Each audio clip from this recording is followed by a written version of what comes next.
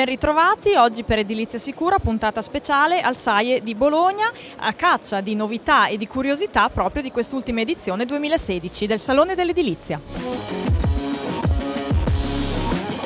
Il SAIE sta andando bene, molto bene rispetto all'anno scorso, un aumento di visitatori, di visitatori qualificati e soprattutto i primi commenti molto positivi da parte delle aziende e questa è la parte importante che a noi interessa di più, che le aziende siano soddisfatte del pubblico che viene, un pubblico che viene interessato ai prodotti che sono esposti.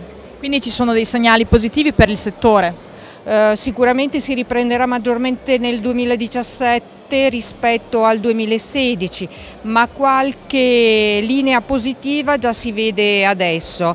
Eh, noi tutti quanti lo speriamo. Diciamo quali sono mh, i padiglioni che hanno maggior successo, se si può dire? Ci sono i padiglioni del software che sono sempre molto pieni con tanta gente interessata alle ultime novità della, uh, dei prodotti software, in particolare quest'anno tutto il tema digitalizzazione e BIM ha portato a moltissimi visitatori a fermarsi varie, dalle varie aziende.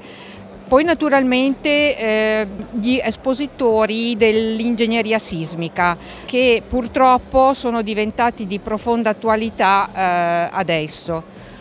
Un altro punto molto interessante è quello della strumentazione. Nell'area che è stata creata dal rilievo al BIM con tutti i droni, gli strumenti di misura, la gente si ferma, prova, vede e cerca di capire quali sono le nuove strumentazioni del futuro. Edilizia sicura!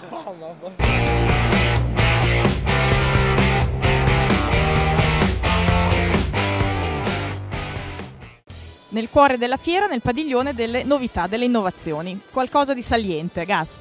Eh, sì, ci sono spesso novità in una fiera come questa, qui ne abbiamo un esempio, è una colonna che oltre ad essere un elemento strutturale importante, eh, cosa che viene in questo caso garantito proprio da una struttura mista acciaio e calcestruzzo, anche la possibilità di integrazione, cioè la trasformazione di un elemento strutturale, puramente strutturale che spesso viene considerato soltanto un, un, eh, un parallelepipedo, insomma senza un'altra funzione, in questo caso una vera integrazione con altri sistemi, persino quelli domotici, quindi di uno schermo, di illuminazioni eccetera, in modo che questo elemento costruttivo diventi proprio una parte vissuta anche degli ambienti costruiti.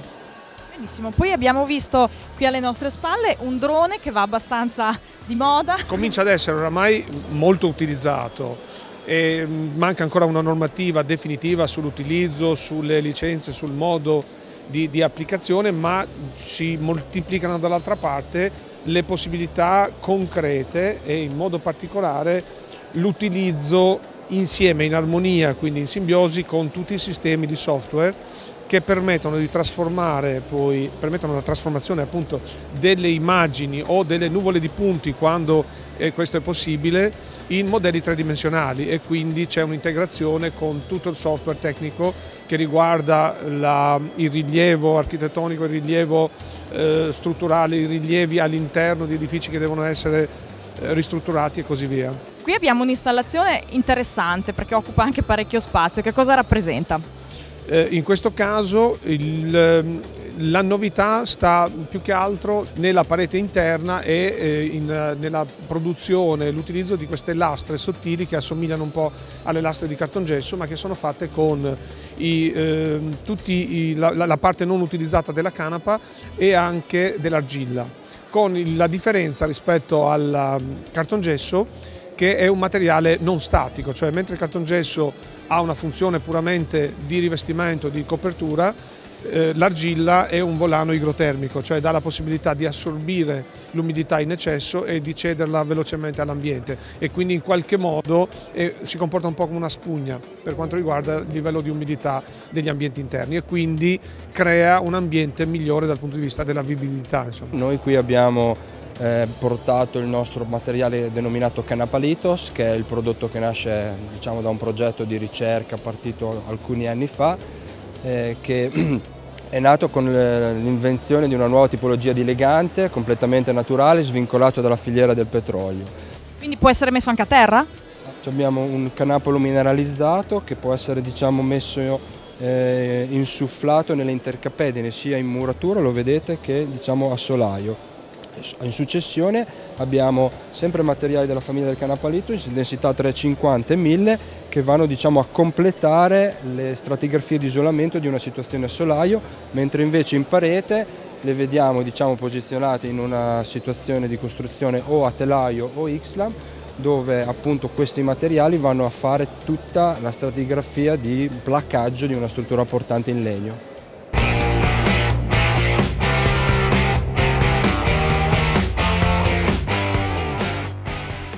Ecco, siamo nel padiglione dedicato al BIM. Quali sono le novità e perché è così importante per l'edilizia? Beh, sicuramente quanto possiamo evidenziare da questa sessione del SAIE è che finalmente il BIM è diventato un qualcosa che cerca consapevolezza tra i professionisti.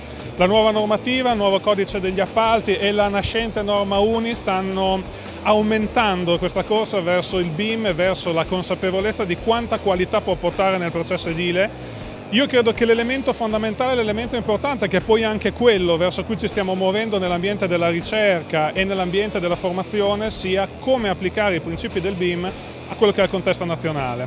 Perché è importante? Perché il BIM ha due caratteristiche. La prima è quella di mettere in team i professionisti. Un progetto BIM richiede che i professionisti lavorino in team sia chi si occupa di disegno, chi si occupa della parte urbanistica, chi si occupa della parte energetica, chi si occupa della parte eh, strutturale, chi si occupa del computo metrico e con il BIM diciamo finalmente la musica diventa suonata da un complesso e non più da un singolo attore. Prima ognuno suonava da solo e poi passava all'altro, qui è un complesso che deve suonare. La seconda caratteristica importante del BIM è che nel progetto si inseriscono tutti i dati relativi alla, alla, alla costruzione, quindi un progetto realizzato col BIM è un progetto che è più completo, contiene tutte le informazioni, permette all'impresa di lavorare in maniera corretta, di non fare errori, permette di avere un computo metrico eccellente. Beh, intanto si parla molto di BIM storico, quello che viene definito HBIM, Historic BIM,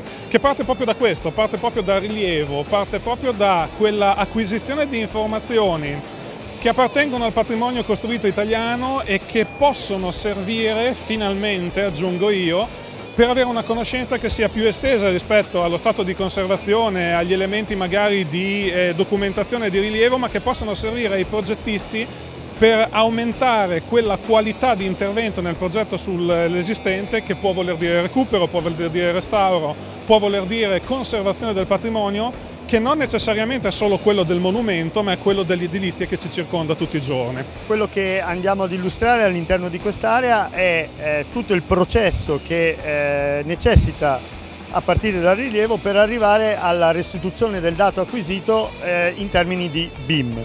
Eh, ad esempio per il rilievo del complesso di Santo Stefano delle Sette Chiese a Bologna è stata utilizzata questa macchina che voi vedete ed è stato fatto il rilievo della parte alta del complesso di Santo Stefano, nello specifico della torre. I dati acquisiti fotogrammetrici sono stati utilizzati per modellarli e tirare fuori modelli tridimensionali da cui è scaturita come prodotto ultimo finale per la divulgazione e non per la parte tecnica ma anche volendo per quella il, il modellino in scala assolutamente eh, propria di, di, tutto il complesso di Santo Stefano che potete vedere eh, dalle immagini.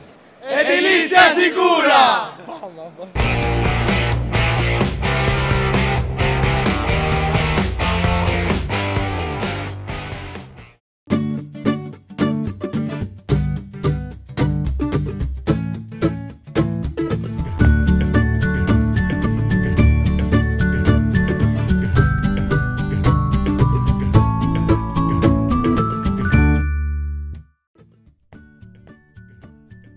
Camino solare è un po' l'uovo di Colombo in edilizia.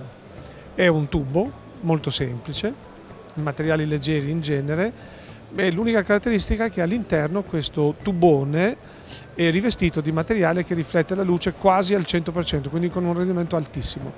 Questo rende possibile il trasporto della luce, quindi da un punto all'esterno dell'edificio, con eh, percorsi a volte anche un po' tortuosi, si può raggiungere un ambiente altrimenti non illuminato, che non ha una finestra diretta per esempio. e l'effetto è veramente sorprendente.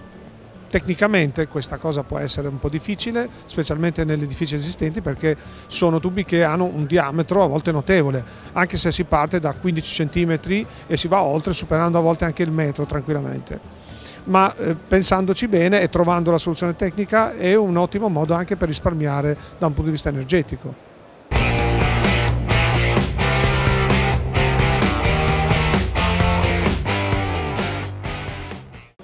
Illustriamo questo prototipo, di che cosa si tratta? Allora, si tratta di un prototipo di un edificio in muratura in cui sono evidenziate diverse tecnologie di intervento. Ringraziamo l'Istituto Edile e l'università che ci ospitano che hanno messo che hanno permesso di, di, divulgare anche tecnicamente, scientificamente le diverse tecniche e le opportunità che questi materiali offrono per rinforzare le murature. È una muratura di tufo in cui vediamo diverse tecnologie, per esempio qui di fronte vediamo una tecnologia di rinforzo per un solaio ligno, un rinforzo di natura sismica, un, un doppio tavolato incrociato armato con una rete in fibra di carbonio e questo eh, in alternativa ai classici, ai classici, interventi di rinforzo con soletti in cemento armato eccetera. Ci permette di rimanere in bassi spessori e ottenere lo stesso il vantaggio e il miglioramento dal punto di vista sismico. Analogamente la colonna in muratura in cui vediamo tre diverse tecnologie messe a confronto e quindi tre diverse tecnologie che in funzione di quelle che sono le esigenze tecniche, le esigenze della conservazione piuttosto che del committente, si può decidere di utilizzare una tecnica di intonaco armato piuttosto che una tecnica di FRP classico, fibro rinforzato classico, una nuova tecnica che è l'FRCM. L'FRCM che è una nuova tecnica, questa innovativa, che um, si basa su una matrice a base calce e un promotore di adesione, un promotore di adesione che è una novità assoluta a livello sia italiano che mondiale che lega la matrice a base calce con la rete di rinforzo che è una rete di rinforzo in fibre di carbonio. Oltre a, queste, a questa tecnologia abbiamo poi la, eh, la possibilità di collegare i vari i rinforzi sulle due facce mediante un connettore, un connettore anch'esso fatto in fibra, in fibra di carbonio. Poi rimanendo sempre all'interno dell'area vediamo le diverse altre tecnologie che possono essere impiegate proprio nel rinforzo, nel miglioramento e per ridurre la vulnerabilità sismica del costruito in Italia. Qui vedete una tecnica per, fare, per sostituire il classico cordolo in, in cemento armato con un cordolo in muratura armata in cui vedete uno strato di malta armato con la, la rete in fibra, in fibra di vetro. Nell'angolo in basso a sinistra vedete l'intonaco armato classico con la rete in fibra di vetro, l'intonaco armato con la rete in fibra di carbonio, eh, l'FRCM, l'FRCM questa nuova tecnica con una malte a base calce e in questo caso il connettore è un connettore in fibra di carbonio, e la tecnica dell'FRP. FRP che sicuramente mh, mm, cioè, non è a piena superficie perché sono solo degli interventi localizzati, ma che permette di ottenere notevoli vantaggi. La tecnica poi può essere sposata dall'interno e dall'esterno e collegata mediante un connettore che è un connettore tipo Hardfix fatto con i materiali che ci sono direttamente qui in cantiere che sono la barra e i tessuti. Edilizia sicura!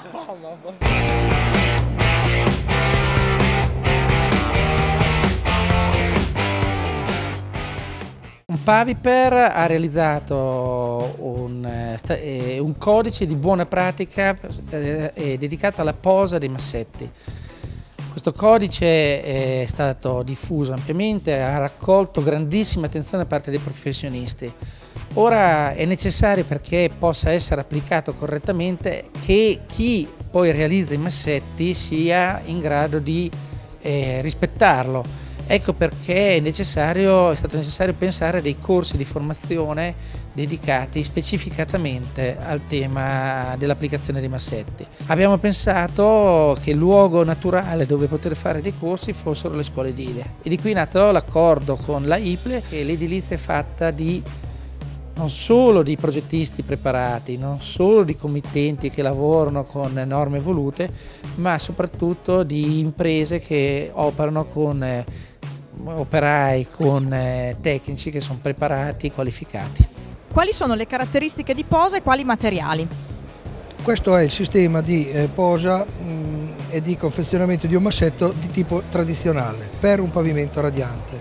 Quindi eh, si possono osservare eh, lo strato termoisolante, lo strato che porta le serpentine di riscaldamento e il massetto fatto con metodologie e materiali tradizionali, il classico sabbia cemento a consistenza terra umida da stendere, staggiare e frattazzare con planarità e quote per l'incollaggio del pavimento finale. Questo qui è un eh, classico sistema senza eh, riscaldamento a pavimento, quindi c'è lo strato di calcestruzzo leggero che copre gli impianti, l'impiantistica di scarico o di servizio, un eh, strato separatore o di barriera al vapore e sempre il classico massetto costituito da sabbia, cemento a consistenza terra umida. Questa è una tipologia similare alla precedente dove lo spessore a disposizione è inferiore. Qui si può intervenire con un massetto sempre a base cementizia ma autolivellante. Chiaramente le caratteristiche del massetto devono essere sempre le stesse, perfetta planarità, quota, assenza di fessurazioni, che sono le caratteristiche indispensabili per un massetto.